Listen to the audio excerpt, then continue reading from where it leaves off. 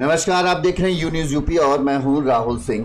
और हमारे साथ आज हमारे साथी पत्रकार, बड़े बड़े पत्रकार हमारे साथ है। अनिमेश सर अनिमेश सर, स्वागत है यू न्यूज़ यूपी में। तो आज हम लोग जो चर्चा करने वाले हैं, वो आज जिस चीज़ की चर्चा हर जगह हो रही है कि आखिर मोदी सरकार कैसे बनेगी और मोदी सरकार पाँच साल कैसे चलेगी। एनडीए की अभी अभी अनिमेश सर, जो खबर आ रही है कि एनडीए की अभी बैठक हो चुकी है इस्तीफा दे के आ चुके हैं नरेंद्र मोदी जी और शाम सात बजकर पैंतालीस मिनट पर एक बार रिकॉर्ड ही हो रहा है ना राहुल? जी? ये रिकॉर्ड हो रहा है ना? हाँ, हाँ। लाइव तो नहीं। लाइव है लाइव है। चलने दीजिए। कोई दिक्कत नहीं। आ, घर जैसा ही समझिए होता है कोई दिक्कत नहीं दिक्कत नहीं। तो अभी अभी जो सूचना मिल रही है कि बैठक हो चुकी है और शाम सात पैंतालीस बजे एक बार फिर से पीएम मोदी राष्ट्रपति भवन जाएँगे और वहाँ पर आ, कहा जा रहा है कि एनडीए का सरकार बनाने का दावा पेश कर दिया जाएगा। इस दौरान जो अनिवेश सूचना मिल रही है कि टीडीपी ने छह मंत्रालय समेत स्पीकर पद की मांग की। जेडीयू ने तीन पद मांगे हैं। चिराग ने दो एक कैबिनेट एक स्वतंत्र प्रधान। मांझी ने एक सिंधे ने दो। तो मोदी जी इतने दबाव में कैसे काम कर पाएँगे? उनकी तो पीठ झुकती नहीं है। देखिए बहुत बहुत शुक्रिया राहुल जी जी आ, लेकिन देखिए ऐसा है नहीं जो खबरें आ रही है कि इन लोगों ने इतनी सीटों की डिमांड की इतने सीटों की डिमांड की हम्म। आपने भी देखा ही होगा शायद अब तक बीजेपी का इतिहास हम्म।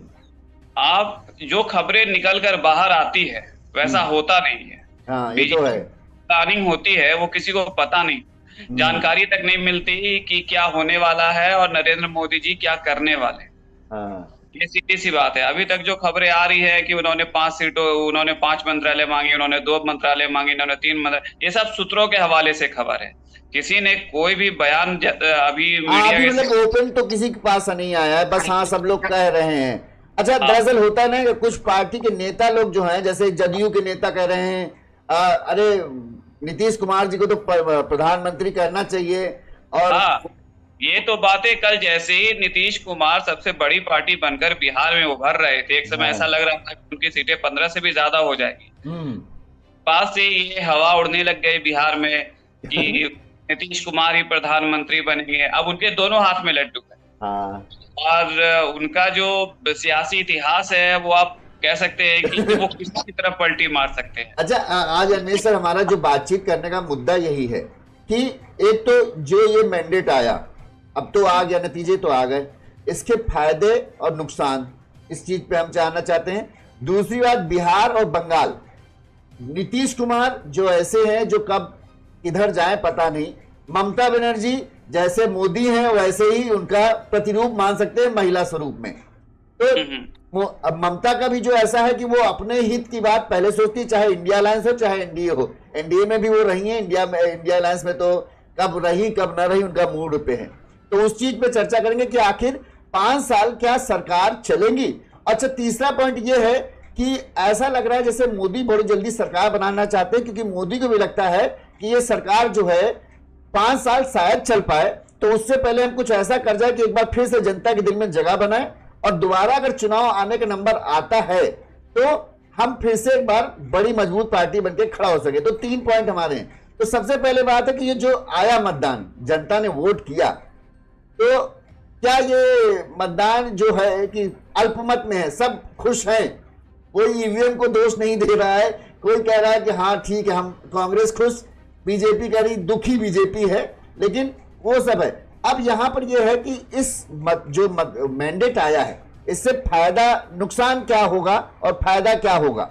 अगर हम इसकी बात करें। ये अगर क्लियर मैंडेट होता तो ये देश के लिए भी अच्छा होता हाँ और जो इस पार्टी को भी क्लियर मैंड चाहे वो कांग्रेस होती चाहे वो बीजेपी होती किसी को तो भी मिलता पार्टी के लिए भी सही रहता लेकिन हाँ। अब चूँकि ऐसा मैंडेट जनता ने दिया है हम्म। कि अब सवाल ये उठना लाजमी है कि आखिर पाँच साल सरकार चलेगी या नहीं चले हाँ यही मेन चीज़ है अगर जेडीयू हाथ खींचती है तब हम्म। तो सर सुरक्षित है हम्म। जेडीयू के आने और जाने से कोई फ़र्क नहीं पड़ेगा हाँ। क्योंकि अगर वो बारह सीटें लेकर अपनी निकल भी जाते हैं और इंडिया खेबे में शामिल भी हो जाते हैं तो कोई फ़र्क नहीं पड़ना है। सरकार बन पाएगी और ना एनडीए की सरकार को कोई नुकसान होगा। हाँ। ये सीधी बात है। लेकिन अगर नीतीश कुमार और टीडीपी दोनों चले जाए। दोनों चले जाते हैं तब गड़बड़ हो जाएगा मामला। तब इंडिया की जो टीम इंडिया है जो तब वो सरकार बनाने की ओर आगे बढ़ सकते हैं। और उसके बावजूद उन्हें और ज़रूरत होगी। उसके अलावा भी उनको सीटों की ज़रूरत पड़ेगी। हाँ, क्योंकि ये ये मिल के टोटल अट्ठाईस ही होंगे जाके और दो सौ तैतीस ही उनके हैं। तो जेडीयू के जाने और ना जाने से नीतीश कुमार को भी ये पता है कि अगर मैं निकल भी जाऊँ तो वो ही नुकसान है। हम्म। क्योंकि नीतीश कुमार ये भली वो चाहे किसी भी तरफ़ रहे वो हम्म। चाहते हैं कि मैं सत्ता से जुड़ा रहा। हाँ। चाहे टीडी के समर्थन से रहे चाहे वो बीजेपी के समर्थन से रहे। बिहार में भी इतिहास अच्छा, था। अच्छा अनमेश सर ये जो हम बताएँ कि जहाँ लग रहा था कि नीतीश जी की पार्टी डूबने जा रही है ये अचानक उबर कैसे गई? नहीं नीतीश कुमार का अपना वोट बैंक है। नीतीश कुमार के बारे में चाहे जो कुछ भी कह दे लेकिन बिहार में उनकी ये स्थिति है पकड़ हम्म। है हाँ। OBC S C S T जो वोटर है वो आज भी नीतीश कुमार की पहली पसंद है हम्म। तेजस्वी यादव ने खूब मेहनत की हाँ। लेकिन वो मेहनत वोटों में वो तब्दील नहीं कर पाए ऐसा लग रहा था कि आरजेडी जो है बेहतर करेगी हालाँकि उसने बेहतर किया है पिछली हम्म। बार एक ही सीट थी हाँ। 2019 में इस बार चार सीटें लेकर आई हैं लेकिन जिस तरह से उम्मीद थी कि तेजस्वी यादव भी अखिलेश की तरह कोई कमाल करेंगे हम्म। लेकिन वो तरह कमाल बिहार में नहीं कर पाए नहीं कर पाए वो तो है और चूँकि वो इंडिया गठबंधन का एक मज़बूत हिस्सा है हम्म। तो अब फ़र्क अब जैसे देखिए एक तस्वीर वायरल हो रही है कि तेजस्वी यादव और नीतीश कुमार एक ही फ़्लाइट से दिल्ली पहुँचे हैं हम्म। दोनों आगे पीछे बैठे हुए हैं तो नीतीश कुमार पर भरोसा करना दोनों के लिए रिस्क है इंडिया हाँ। गठबंधन के लिए उन्होंने बड़ी मेहनत की लेकिन हाँ। जैसे चुनाव का वक्त आया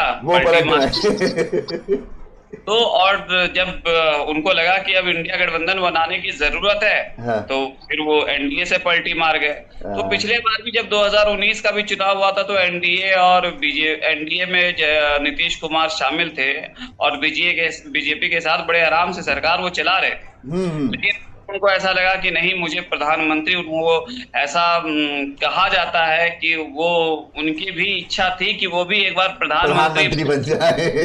तो अच्छा, अच्छा जैसा कि विधानसभा बिहार विधानसभा चुनाव भी अब मान लीजिए दो साल ही रह गए 2026 में शायद चुनाव है वहाँ पे। और पिछले चुनाव में हमने देखा था नीतीश कुमार ने कह दिया था कि अब बस मेरा ये आखिरी है। लेकिन ऐसा लगता है इस लोकसभा के चुनाव ने एक बार फिर से नीतीश कुमार को ज़िंदा कर दिया है। नहीं नीतीश कुमार के लिए जीत के लिए आ, मतलब एक सिर्फ़ यही वजह नहीं है कि नीतीश कुमार एक्चुअली बिहार में क्या है कि जिस भी सीट से नीतीश कुमार की उम्मीदवारों को जीत मिली है हाँ, हाँ। वहाँ आप समीकरण देखेंगे तो ऐसा नहीं है कि सिर्फ़ भाजपा के साथ था भाजपा कार्यकर्ताओं को वहाँ साथ मिला इस वजह से जीतने में योगदान है की पकड़ पहले से ज़्यादा मज़बूत हुई है हाँ, तो बीजेपी का भी वोट उन्हें मिला है और तब जाकर जीत हुई है हम्म। लेकिन ऐसा नहीं है कि जेडीयू बिल्कुल खत्म हो गई है बिहार में खत्म हो गई थी जेडीयू भी है अभी हम्म। बिहार में और नीतीश कुमार जब तक रहेंगे तब तक जेडीयू है हम्म। हालाँकि उन्होंने सेकेंड लाइन जो उनके बाद कौन संभालेगा ये अभी तय नहीं है हाँ। लेकिन जब तक नीतीश कुमार है तब तक बिहार में जेडीयू का वोट बैंक है लोग सवाल भले उठा ले लेकिन यहाँ पर अभी उनका वोट बैंक है। लोग वोट देते हैं कुछ ऐसी जातियाँ हैं कोरी कुर्मी तो वो तो उनका पक्का वोट बैंक है जो नीतीश कुमार से कहीं और शिफ्ट ही नहीं होने वाली। हम्म। अच्छा एक चीज़ जो हम ये बात करें कि ये मोदी को क्या यकीन है कि ये पाँच साल जो सरकार हम अब देने तो जा रहे हैं फटाफट काम कर रहे हैं वो क्या ये पाँच साल तक आपको लगता है कि सरकार रहेगी या मोदी भी जानते हैं इस चीज़ को समझते हैं कि कभी भी कुछ भी हो सकता है? तो हमें अब कुछ ऐसा करना होगा कि जनता के दिल में फिर से हम जगह बना पाए नहीं बीजेपी बीजेपी इससे पहले भी जब अटल बिहारी वाजपेयी की सरकार थी तो उन्होंने बहुत सारे छोटे छोटे दलों को लेकर मिलकर भी तेरह दलों की हम्म। सरकार उन्होंने चलाई थी उस वक्त भी ऐसा नहीं है कि बीजेपी के पास अनुभव नहीं है हम्म।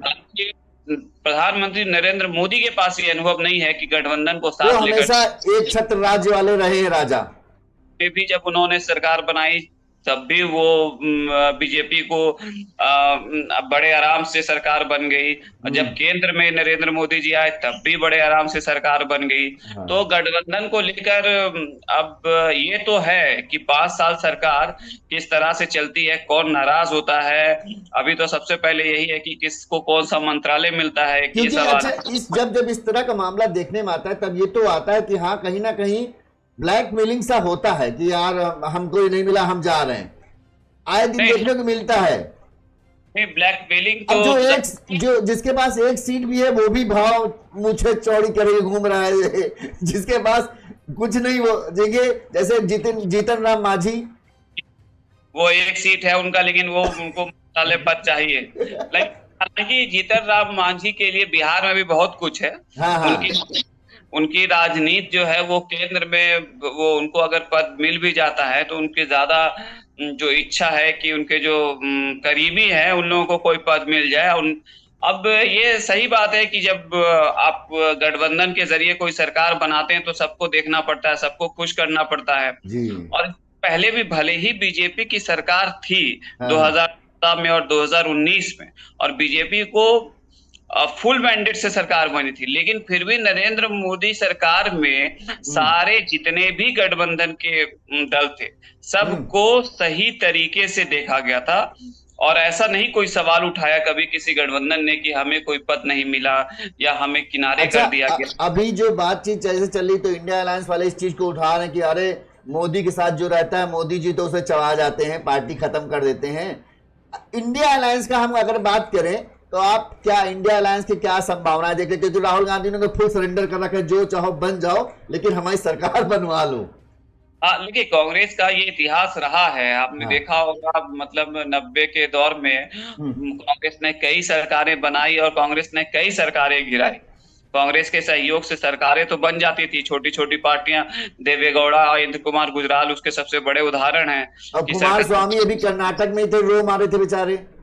हाँ मतलब इस तरह का कांग्रेस का इतिहास रहा है कि हाँ। सरकारें तो बना देती है लेकिन फिर ज़्यादा दिन तक सरकारें टिक नहीं पाती और हाँ। इंडिया की सर अगर इंडिया गठबंधन की सरकार बन भी जाती है तो हाँ। सबसे पहला सवाल तो ये है कि राहुल गांधी प्रधानमंत्री बनेंगे कौन बनेगा अगर राहुल गांधी प्रधानमंत्री बन भी जाते हैं तो सबसे बड़ा टकराव तो अखिलेश यादव और ममता बनर्जी है यही यही मामला फंस रहा है एक तो ममता जी जो एकदम स्ट्रेट फॉरवर्ड हैं वो किसी चीज़ में समझौता नहीं करती हैं। पहले ही कह चुकी है कि हम बाहर से समर्थन करेंगे। हाँ। लेकिन जब अब उनको इतनी सीटें आ गई है तो बाहर से तो समर्थन करेंगी नहीं। वो सरकार में शामिल होना चाहे। तो इंडिया गठबंधन के लिए भी ज़्यादा मुश्किल है कि वो सरकार कैसे बनाएगी। बस ये है कि कांग्रेस के लिए जो कांग्रेस को कहा जा रहा था कि अब खत्म होने वाली है हम्म। वो फिर से सौ सीटें लेकर आ गई तो उसके लिए अलग खुशी वाली बात है। लेकिन फ़िलहाल तो एनडीए की सरकार बनेगी। और हम्म। मुझे लगता नहीं कि जब कोई भी पार्टी बड़ी पार्टी जिसके पास ढाई सौ सरकार ये सीटें हैं हैं तो सरकार अब देखिए पीवी नरसिम्हा राव के वक्त भी 225 हम्म। कांग्रेस के पास थी सीटें और बड़े आराम से नरसिम्हा राव ने सरकार चलाई तो हम्म। ऐसा नहीं है बस ये है कि एक ये फैक्टर हो जाता है कि एक दल है जहाँ पर मात्र तीन पार्टी जुड़ जाएँगी तब भी गठबंधन आ जाएगा एक है इंडिया लाइन जहाँ पे दस जुड़ेंगे तब जाके आएगा और दस को मनाना ज़्यादा कठिन है जहाँ वनस्पत दो को मनाना हाँ अगर ऐसा होता कि जेडीयू हम्म। के ही सरकार होती मुश्किल थी। अगर हाँ। सिर्फ़ के भरोसे अगर बीजेपी को सिर्फ़ जेडीयू के साथ की ज़रूरत होती तब एक डर था। लेकिन चूँकि यहाँ पे जेडीयू भी है और टीडीपी भी है और जब तक ये दोनों पार्टियाँ नहीं छोड़ेगी बीजेपी का साथ तब, तब तक, तक मुश्किल नहीं आएगी। तब भी मुश्किल ही आएगी। ऐसा नहीं कि हाँ सरकार वो हो जाएगी। मुश्किल में आएगी तब ये है कि अल्पमत में सरकार आएगी। हाँ। उसके बाद बीजेपी को दिक्कत हो। लेकिन ऐसी कोई संभावना भी है नहीं। और तेलुगु देशम टीडीपी चंद्रबाबू नायडू भी अच्छी तरह से जानते हैं। अभी आपने देखा ही चुनाव के पहले गठबंधन वाली बात है। पहले वो जेल में गए और फिर जेल, जेल में गए रो मारे थे वो भी। कांग्रेस का। उन्होंने भी भुगता है। इस तरह से गिरफ्तारी उनकी हुई थी पूरे देश ने देखा था। हाँ। और अच्छा टीडीपी का अभी भी चुनाव भी जीते हैं गठबंधन के रहते हुए वो वहाँ पर। अच्छा उनको मैंडेट मिला है। हाँ उनको एक तरफा जीत मिली है। हाँ। तो वहाँ पर भी उनकी सरकार है। तो ऐसा लग नहीं रहा है कि टीडीपी जो है कि अगर टीडीपी छोड़ देती है और जेडीयू सरकार में बनी रहती है तो अभी सरकार को कोई दिक्कत नहीं है। क्योंकि तो इतनी सीटें किसी के पास नहीं है कि हाँ। कोई ले तो सरकार गिर जाएगी। तो इसलिए ऐसा मुझे तो नहीं लग रहा है कि अभी कोई मतलब लगता है कि एनडीए जो है वो पाँच साल चला ले जाएगा खींच ले जाएगा इस गाड़ी को। हाँ मुझे लगता नहीं कि प्रधानमंत्री नरेंद्र मोदी उनके पास इतना अनुभव है उनको पता है अच्छा लेकिन अभी तक जैसे होता था कि एक पूरी ताकत थी तो मन जैसा जो आया अध्यादेश लाए पास कराया जो बिल आया वो पास हुआ क्या अब उसमें समझौता करना पड़ेगा? अब वो मनमानी नहीं दिखेगी। और जैसे वो चल रहा था कि एक देश एक चुनाव एक ही चुनाव सारे अब मुझे लगता है वो सब बैक बेंच हो जाएँगे। हाँ देखिए बहुत सारी चीज़ें हैं तो आपके साथ कॉलेशन जब गवर्नमेंट होता है तो इन सब चीज़ों से आपको समझौता करना वो समझौता दिखेगा। जैसे ही सरकार बनेगी आपको नज़र आएगा अभी देखिएगा सबसे बड़ा विवाद तो एनआरसी पर है। अब जैसे ही सरकार बनती है तो उस पर फिर दूसरा अग्निवीर योजना अग्निवीर योजना का नीतीश कुमार ने खुलकर विरोध किया है चंद्रबाबू नायडू ने भी विरोध किया है। हाँ। अब उसमें बात आएगी। तो ये सारी चीज़ें आपको दिखेगी जैसे मुझे लगता है कि अब कुछ योजनाओं को शायद बीजेपी अगले पाँच साल तक पीछे खींच लेगी कि अब उनपे बात नहीं करना है कम से कम। हाँ क्योंकि सरकार चलाना सबके लिए ज़रूरी है है ना? हम्म। अब देखिएगा कि बहुत कई सारे मुद्दों पर अब अच्छा, बीजेपी कई लोग कह रहे हैं कि अब ऐसी सरकार आई है तो जनता को फ़ायदा मिलेगा, क्योंकि बीजेपी को एक बड़ा सख्त मैसेज मिला है कि आप जो चाहोगे वही जनता स्वीकार नहीं करेगी। अब जनता के हित में आपको फैसले लेने पड़ेंगे ज़्यादा। ऐसा कुछ दिख रहा है? देखिए ऐसा नहीं है। यूपी छोड़कर बीजेपी को अगर बीजेपी को यूपी से 40 सीटें और मिल जाती हम्म। तो वही मैंडेट रहता दो, दो, दो हज़ार चौदह दो हज़ार उन्नीस में जो मिला था। अगर बीजेपी चालीस सीटें और यूपी से जो बीजेपी को नुकसान हुआ है यूपी से तो बहुत बड़ा झटका लग गया। यूपी से अगर उतना नुकसान बीजेपी को नहीं होता तो फिर बीजेपी के पास आज भी दो सौ नब्बे के आसपास सीटें होती हम्म, हम्म। तो ऐसा नहीं है कि बीजेपी को लोगों ने एकदम बाइकआउट कर दिया बीजेपी का हाँ। बीजेपी के पास अब भी उतना ही वोट प्रतिशत है जो पिछली बार था और उतने ही लोगों का सपोर्ट है देखिए कि अगर मतलब वो होता तो जैसे उड़ीसा में बीजेपी की सरकार बन गई और आंध्र प्रदेश में मिला केरल में जहाँ कोई संभावना थी वहाँ पे उनका खाता खुल गया तो हाँ, हाँ आया रुझान अच्छा है लेकिन ये है कि यूपी से शायद मोदी ने भी उम्मीद नहीं की थी क्योंकि इस बार मोदी की रैली बहुत जगह यूपी में नहीं हुई उतना ज़्यादा ज़ोर नहीं यूपी में दिया। तो ये भी कहा जा रहा है कि उत्तर प्रदेश में योगी आदित्यनाथ हाँ। खुद नाराज़ थे। वो टिकट बंटवारे आप देखिए उत्तर प्रदेश में योगी आदित्यनाथ जी स्टार्टिंग में चुनाव प्रचार नहीं कर पा रहे थे। हाँ हाँ। चुनाव प्रचार नहीं किया था। और उसके बाद उन्होंने चुनाव प्रचार किया। ऐसा कहा जा रहा है कि उनके मन मुताबिक टिकट भी नहीं मिला था। हाँ ये बताया जा रहा है ये सुनने में आ रहा है कि जिस तरह से योगी ने एक लिस्ट दी थी कि इन लोगों को टिकट देना चाहिए उसको पूरी तरीके से दरकिनार करके अपने उनको लोगों को दिया गया और वो सभी लोग गच्चा खा गए। केजरीवाल ने यहाँ तक कह दिया था कि जाएगा। एक चीज़ ये सवाल मुझे पूछना है। अब इंडिया गठबंधन में केजरीवाल कहाँ फिट होंगे और क्या जेल से इंडिया गठबंधन निकालने में कुछ करेगा सही मुझे तो नहीं लगता। नहीं अब देखिए जब तक अब देखिए आज एक तस्वीर सामने आई है कि कांग्रेस दफ्तर में लखनऊ के कांग्रेस दफ्तर में बहुत सारी मुस्लिम महिलाएँ पहुँच गई थी। हाँ, हाँ। महिलाएँ वो एक पेपर लेकर पहुँची थी। उसमें लिखा था इंडिया राहुल की गारंटी। हाँ। उस गारंटी का कार्ड बांटा गया था चुनाव से पहले। हाँ। मुस्लिम महिलाओं को कि जैसे ही कांग्रेस की सरकार जीतेगी तो आप लोगों को एक लाख रुपए मिलेंगे धन लक्ष्मी योजना क्या था अब सोचिए मुस्लिम महिलाएँ पहुँच गई वहाँ दफ्तर कांग्रेस के हंगामा करने लगी कि मेरा एक लाख रुपया कहाँ है हाँ। तो आप समझिए कि किस तरह से लोगों को बरगलाया गया और किस तरीके से वोट लिया गया उन्हें ये तक नहीं पता कि अभी सरकार बनी नहीं है उन्हें ये तक नहीं पता कि किसकी सरकार बन रही है। हाँ। लेकिन वो लोग लाइन में बड़ी अच्छी लंबी लाइन लगी थी मुस्लिम महिलाओं की कांग्रेस दफ्तर में लखनऊ की। एक लाख रुपया चाहिए राहुल गांधी ने कहा था अब अब चुनाव हो गया आप दीजिए चुनाव के बाद देने कहा था। चुनाव अच्छा हो गया। मैं ये पूछ रहा हूँ अब ये बताएँ कि केजरीवाल साहब का क्या होगा? क्योंकि हमने देखा इस चीज़ की चुनाव में चर्चा हो रही थी कि जैसे ही केजरीवाल जमानत से बाहर आए उन्होंने राहुल गांधी का फेम खा लिया। सब चर्चा केजरीवाल हर जगह होने लगे तो केजरीवाल है भी पब्लिक स्टंट करने में माहिर है। तो क्या केजरीवाल को इंडिया गठबंधन को केजरीवाल की ज़रूरत है? नहीं देखिए ज़रूरत तो होगी। अब देखिए पंजाब में ही तीन सीटें वो जीत हाँ। पंजाब भले ही दिल्ली में केजरीवाल को एक भी सीटें नहीं मिली।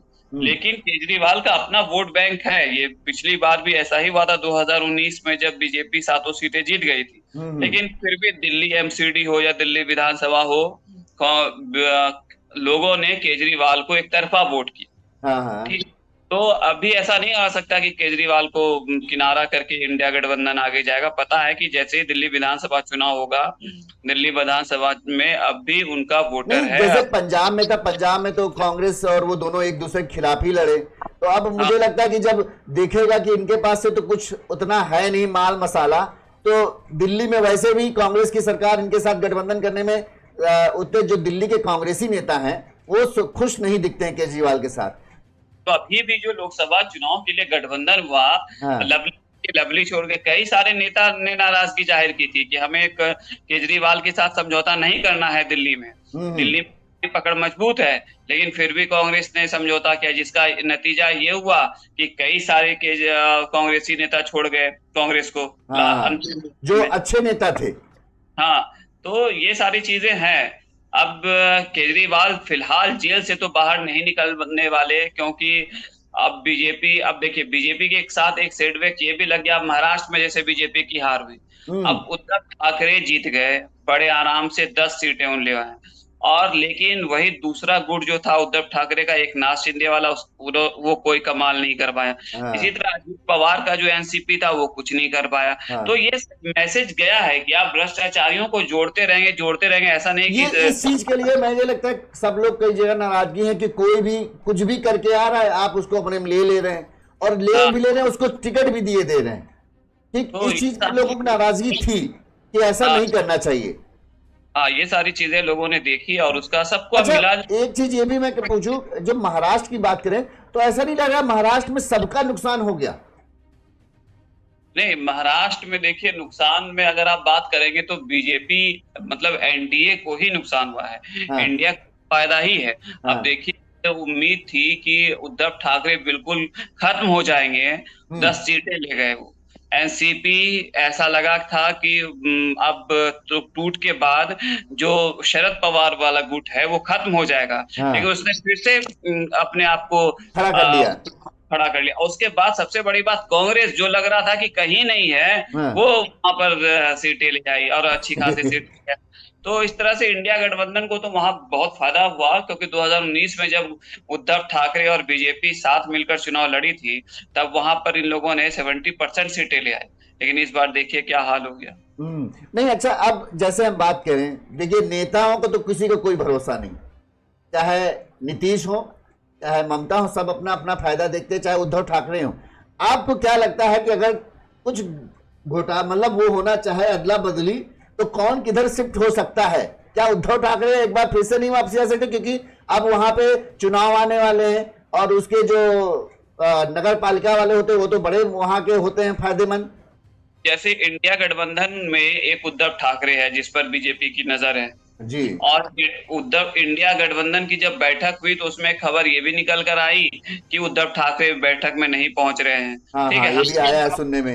हालाँकि उनका ये अपना आंतरिक मसला है क्योंकि उद्धव ठाकरे ने ही कहा कि चंद्रबाबू नायडू बहुत प्रताड़ित हैं। हाँ। तो ये सारी चीज़ें हैं लेकिन अगर बीजेपी उद्धव ठाकरे और हालाँकि ये भी एक खबर है कि डीएमके पर बीजेपी नज़र बनाए हुई डीएमके को अभी वो उनके जो जन्मदिन का था बकायदा मोदी ने पोस्ट वोस्ट किया था करुणानिधि हाँ। का तो अब बीजेपी डीएमके पर भी एक नज़र है डीएमके पर क्योंकि बहुत कोशिश की इस बार बीजेपी की ओर से कोशिश की गई कि तमिलनाडु में किसी तरह खाता खुला जाए हाँ। लेकिन इतनी कोशिश के बावजूद तमिलनाडु में बीजेपी कोई कमाल नहीं कर पाई वोट प्रतिशत हालाँकि बढ़ा हाँ, लेकिन बीजेपी हाँ। कोई कमाल तमिलनाडु में नहीं कर पाई तो इसलिए बीजेपी की कोशिश है कि क्यों नहीं डीएमके को ही जोड़ा जाए। तो अब डीएमके भी एक ऑप्शन है लेकिन फ़िलहाल तो ऐसा ज़रूरत लग नहीं रहे। हालाँकि अगर अगर ये नहीं हम कहें कि भाई बीजेपी के पास चाणक्य हैं अमित शाह जी तो वो कुछ ना कुछ खेल भिड़ा देते हैं अक्सर। कई बार होता है जब मुश्किल में नैया डूब रही होती है तो वो कहीं से कुछ चमत्कार कर लाते हैं। तो ऐसा कुछ बैकअप रखेंगे कि अगर बाई चांस नीतीश हो टीडीपी से कुछ मिलता है तो उनके पास कुछ ना कुछ सिस्टम तैयार रहे। हाँ लेकिन अभी ऐसा मुझे लग नहीं रहा कि एनडीए पर कोई संकट है हम्म। और आराम से सरकार बन भी जाएगी और मुझे ऐसा लग रहा है बड़े आराम से सरकार चल भी जाएगी। क्योंकि तो। नीतीश कुमार देखिए नीतीश कुमार लाइव भी है। अभी आ रहे अच्छा। नीतीश तो, कुमार जी। हवा का पहचानते हैं और नीतीश कुमार ने देख लिया लोकसभा चुनाव में तेजस्वी यादव। एक मिनट सर। हाँ भैया। अरे भैया लाइव में भी चल रहा है। अरे एक मिनट। तो एक मिनट दीजिएगा सर। तो,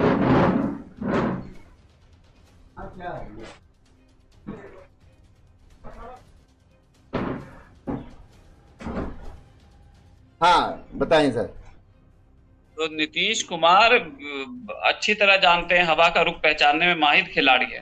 हाँ ये तो है उनका एक्सपीरियंस तो है ही है। अच्छा अब इस चीज़ का हम बात करें हमने देखो बात कर लिया केजरीवाल का भी अच्छा केजरीवाल कुछ है उम्मीद कब तक बाहर आएँगे? नहीं नहीं अभी केजरीवाल का तो कोई उम्मीद नहीं है क्योंकि केजरीवाल अभी जिस केस में अंदर गए हैं हाँ। तो उनका बाहर निकलना बहुत मुश्किल है। अच्छा उनको जिस तरह से उम्मीद थी कि दिल्ली में उनको बड़ा साथ मिलेगा लोकसभा सीटों का और उनको था कि इस बार हम कमाल करके दिखाएँगे एकदम से दिल्ली की जनता ने उनको सपोर्ट नहीं दिखाया। अगर बाहर रहते तो शायद कुछ कमाल कर पाते। केजरीवाल बाहर रहते तो शायद कुछ कमाल कर पाते लेकिन वो अंदर थे अंदर चले गए तो इस वजह से और देखा जाए तो 2019 में भी सातों सीटें बीजेपी को ले गए थे और इस हम्म। बार फिर इनको ऐसा लगा कि कई सीटों पर शायद नाराज़गी है तो इन लोगों ने टिकट भी बदला तो हम्म। उसका भी फ़ायदा बीजेपी को मिला हालाँकि सिर्फ़ यूपी छोड़ दिया जाए तो बीजेपी का वोट प्रतिशत कहीं कम हुआ नहीं है अच्छा आ, अगर यूपी की बात करें तो आपको यूपी में जो मतलब लग रहा है इतना बड़ा झटका उसकी वजह क्या होगी? क्योंकि यूपी से तो उम्मीद ही नहीं थी। अयोध्या, काशी सब चकमगा दिया, उसके बाद ये कैसे हो गया? और खासकर वही क्षेत्र, अयोध्या, वाराणसी, जहाँ जहाँ कमज़ोर हो गए। अब ये तो देखिए, ऐसा है कि जब, कई चीज़ें हैं, जिस पर बीजेपी को सोचना पड़ेगा कि आखिर यूपी में ऐसा हाल क्यों हुआ? एक तो अखिलेश यादव ने जिस जिस जगह पर उम्मीदवार को उतारा। उस जगह पर उसने बड़े अच्छे से समीकरण देखे कि किस जाति के कितने लोग हैं। इस हम्म। हिसाब से उसने टिकट दिया। और बीजेपी को बीजेपी देखिएगा आप सुनिएगा बीजेपी को आज भी यही कह रहे हैं उसके प्रवक्ता कि बीएसपी से उन्हें बड़ी उम्मीद थी। मतलब बीएसपी के भरोसे वो चुनाव लड़ रहे थे बीएसपी वाले टिकट काटेंगे और फिर हम जीत जाएँगे। हाँ। अच्छा ये ये, ये जो हमें जो जब जो हमारे लोग हैं जैसे हम तो यूपी के ही हैं यूपी के ज़्यादातर लोगों का कहना है कि एक दो चीज़ें जो खराब गई। एक तो योगी का उन्होंने जो लिस्ट थी उसको दरकिनार किया। दूसरी बात ये था कि जो आ, आ, हम कहें कि पेपर लीक वाला चुनाव से थोड़ा सा पहले जब पेपर लीक वाला हुआ उसमें युवा बहुत नाराज़ हुआ। और उस हाँ। चीज़ को अखिलेश ने मुद्दा भी बहुत अच्छे से बनाया था। हाँ पेपर लीक भी एक बहुत बड़ी नाराज़गी थी लोगों में हाँ। युवाओं की खासकर जो वोटर है जो वोट देने के लिए निकलते हैं कितना बड़ा और चुनाव से ठीक पहले वैसा होना और कितना आंदोलन हुआ कितने जगह क्योंकि सभी जगह का था मामला वो तो हाँ वोटर ये जो पेपर लीक कांड हुआ हम्म। तो ये पेपर लीक कांड में ही योगी सरकार जो है बुरी तरह से फंस गई और हम्म। अखिलेश ने इस मुद्दे को बड़े अच्छे से उठाया हाँ। कि हर जगह हर रैली में इसका ज़िक्र हुआ और रही बात राम मंदिर की तो ऐसा मतलब एक दूसरी बात ये भी थी कि नाराज़गी राजपूतों में अलग नाराज़गी ब्राह्मणों में अलग नाराज़गी। हाँ। तो इस वजह से भी शायद जो यूपी में जिस तरह से बीजेपी ने समीकरण को जोड़ के रखा था वो कामयाब बीजेपी वहाँ पर कामयाब नहीं हो पाई।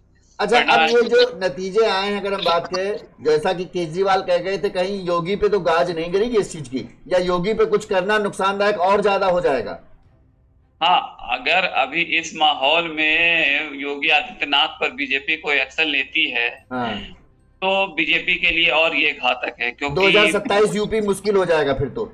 हाँ फिर तो मतलब देखिए क्या होता है कि लोकसभा और विधानसभा में दोनों में अलग अलग मुद्दों पर चुनाव होते हैं। हाँ, तो, तो ज़रूरी नहीं है कि लोकसभा में अगर बीजेपी कमज़ोर हो गई तो विधानसभा चुनाव में भी कमज़ोर हो जाएगी हाँ। ऐसा अलग अलग चुनाव होते हैं लोकल इश्यूज़ होते हैं अलग अलग चीज़ें होती है तो इसलिए ये अभी से कहना है कि लोकसभा हार गए तो विधानसभा में भी बीजेपी को चुनौती मिलेगी हम्म। ऐसा मुझे लगता है जो 2022 का यूपी का चुनाव हुआ 2000 हम पहले वाला कहे सत्रह वाला तो कहे चलो हम मान सकते हैं कि योगी के मोदी के नाम पे योगी जीत गए थे लेकिन 2022 वाले में तो योगी के नाम पर ही उसको वोट मिले कि हाँ योगी योगी मुख्यमंत्री बनेंगे। अब 2027 जब आएगा तो जिस तरह की योगी की इमेज बनी अभी भी लोग योगी को एकदम वो करते कि हाँ बेस्ट बंदा है। माफ़ करना हमारा कनेक्शन कट गया। आ रही आवाज़? आ रही हाँ आ रही आ रही जी जी। अभी समय है योगी जी के पास और बीजेपी पास भी, जहाँ चूक हुई, जहाँ गलती हुई, उसको सुधारने की तो ऐसा नहीं है कि अभी समय नहीं है, अभी बहुत समय है बीजेपी के पास। अभी देखे तो गलती वो कर सकते हैं। दूसरी बात, लोग इस चीज़ को भी कह रहे हैं कि भाई, जो सांसद हैं, कई लोग हमारे जैसे हमारे साथी लोग गए रिपोर्ट ग्राउंड पे करने गए तो वो सांसदों से काफ़ी नाराज़ लोग दिखे कि सांसद जी तो हैं, जिन्होंने अपने गाँव को गोद लिया है, वही गाँव में नहीं देखने जा रहे, कौन सा हमारे गाँव में क्या हुआ, जो वैसे हाँ। काम उनका नहीं होता है लेकिन फिर भी लोगों चूँकि यूपी में छोटे छोटे गाँव ज़्यादा है वहाँ इसी चीज़ को बड़ा मानते कि हमारे यहाँ दिखते ही नहीं वो। तो हम कैसे कहते मोदी के नाम पे जो वोट मिला तो मिला वरना तो लोगों ने सांसदों कर दिया हम उनको जानते ही नहीं। नाराज़गी थी तभी तो प्रधानमंत्री नरेंद्र मोदी वाराणसी से डेढ़ सौ डेढ़ लाख चुनाव वोट। से जीत बताइए। नाराज़गी है उसी का तो ये असर है। वरना अगर नाराज़गी नहीं होती तो हाँ। नरेंद्र मोदी प्रधानमंत्री वो डेढ़ लाख वोट से जीते रायवलेरी अमेठी स्मृति हार ईरानी हार गई अमेठी के स्मृति ईरानी कैसे हार गई यही लोगों को समझ में आ रहा है। जबकि हमारा जो जिला है वो अमेठी से एकदम पास है हम जाते हैं तो देखते हैं कि फोर लेन रास्ता बनी हाईवे बनाया गया बढ़िया रास्ता लेकिन क्यों हार गई ये? अब क्या कहा जाए? वाराणसी को एक बेहतरीन शहर बनाने में प्रधानमंत्री नरेंद्र मोदी का बहुत बड़ा हाथ। हाँ। और उसके बावजूद वाराणसी के डेढ़ लाख वोट से प्रधानमंत्री ऐसा लगा थोड़ा सा आगे पीछे होता तो प्रधानमंत्री जी निपट जाते। हाँ तो मतलब ये चीज़ें है। नाराज़गी है लोगों में थी। वो उत्तर प्रदेश में देखिए अगर पूरे देश में किसी मुद्दे को लेकर नाराज़गी होती तो जो स्थिति यूपी में हुई वही स्थिति जो है बिहार में भी होती। हाँ। लेकिन उत्तर प्रदेश में नाराज़गी की वजह वहाँ के लोकल इशू वहाँ के स्थानीय मुद्दे वहाँ के स्थानीय नेता थे। इस वजह से सिर्फ़ उत्तर प्रदेश में हार हुई। अगर यही कोई नरेंद्र मोदी से नाराज़गी होती या केंद्र की किसी योजनाओं से नाराज़गी होती तो ये असर बिहार में भी दिखता मध्य प्रदेश में भी दिखता राजस्थान तो जीत गए हिमाचल में जीत गए। हर प्रदेश उत्तर प्रदेश से सटा हुआ जितना भी राज्य चाहे वो बिहार हो चाहे मध्य प्रदेश हो चाहे हाँ, सभी जगह दिखता है ये बात सही है। तो तो हर जगह हर, हर जगह बीजेपी जीत गई। हम्म। तो अगर उत्तर प्रदेश में इस तरह की हार हुई है तो उत्तर प्रदेश के जो लोकल मुद्दे हैं स्थानीय मुद्दे स्थानीय नेता है उनकी वजह से ये हार हुई। अब ये तरीके से कहें तो बीजेपी को ये अपना संगठनात्मक एक तरीके से कहना पड़ेगा जाँच करनी पड़ेगी कि आखिर ऐसा कोलैप्स हुआ कैसे? जहाँ हम साठ चौसठ से ऊपर जाने की सोच रहे थे वो एकदम ही हम फिसल के तैतीस पे पहुँच गए। अमित शाह इन सब चीज़ों में माहिर है वो कर ही लेंगे कि बीजेपी में चल भी रहा होगा कि आखिर इतनी बुरी हार क्यों हुई? क्योंकि सबसे ज़्यादा उम्मीद बीजेपी को उत्तर प्रदेश से ही थी। उत्तर प्रदेश और बंगाल ये दोनों उत्तर प्रदेश से बीस और हो जाती तो किसी की ज़रूरत ही नहीं पड़ती फिर तो काम ही हो जाता। प्रदेश और बंगाल इन दोनों से बीजेपी को भारी उम्मीद अच्छा एक मैं मेरे पास समय बहुत कम बचा लेकिन आप बंगाल से बेसिकली ताल्लुक रखते हैं तो ये कैसे होता है कि हर बार हाइप बहुत ज़्यादा होती है कि इस बार तो बंगाल हो गया इस बार हो गया और लेकिन जब नतीजे आते हैं तो हर बार डाउन नतीजे आते हैं नहीं नहीं बंगाल में आपने देखा होगा एक उदाहरण से मैं आपको समझाता हूँ संदेश खाली आपने नाम सुनाई होगा जो संदेश खाली में बंगाल बीजेपी ने एक पीड़ित महिला को टिकट दिया हाँ। और उसका आप इस तरह से समझिए कि जो संदेश खाली इलाका है हाँ। वहाँ पर बीजेपी का एक भी वोटर नहीं हाँ। मतलब उस पूरे इलाके में आप पूछे कि और कोई दूसरी पार्टी भी है क्या यहाँ पर? तो टीएमसी के अलावा कोई, कोई है ही नहीं।, नहीं। अच्छा इतना वोटर तगड़ा है वहाँ पे। और आप इसको ऐसे कंपेयर कीजिए कि जिस तरह का जो प्रभाव नरेंद्र मोदी का गुजरात में उसी तरह का प्रभाव ममता बनर्जी का बंगाल में। वही तो हम तो, कहते कि नरेंद्र मोदी का फीमेल वर्जन ममता बनर्जी है। हाँ तो बनर्जी को वही नरेंद्र मोदी आप समझिए जिस तरह गुजरात में डोमिनेट करती है पूरी तरीके से। इसी तरीके से वो बंगाल में यहाँ पर लोगों को जोड़ कर रखती है। हाँ। तो इसलिए चीज़ें बदल जाती है आप भले ही अच्छा, ये अगर कहें तो, तो दिखीरा का हो गया। क्या ममता बनर्जी कुछ संभावना है? क्योंकि कभी ममता बनर्जी आम भेज देती हैं कभी वो भी दीदी दीदी कहते हैं। तो कहीं कुछ है मेल मिलाप का संभावना? ममता बनर्जी और एनडीए तो बहुत दूरी बन गई है। अभी बहुत दूर हाँ।